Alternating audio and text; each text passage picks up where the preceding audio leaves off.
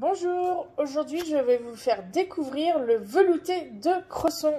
Hyper facile à faire, vous allez voir, comme d'habitude, moi j'adore les recettes faciles. Alors, vous avez la botte de cresson, deux pommes de terre, un cube de volaille et votre casserole, c'est tout.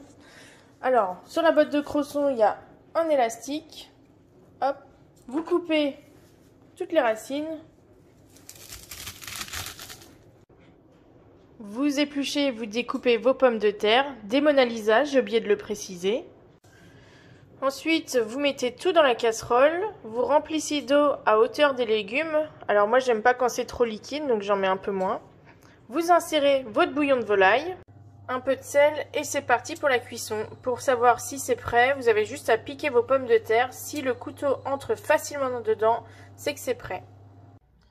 Voilà le résultat après 15 minutes de cuisson l'avoir mixé, voilà mon velouté. c'est vrai que la couleur n'a pas l'air très très appétissante, mais je peux vous garantir que mon velouté va être extra. Voilà, j'espère vous avoir fait découvrir un nouveau produit et à bientôt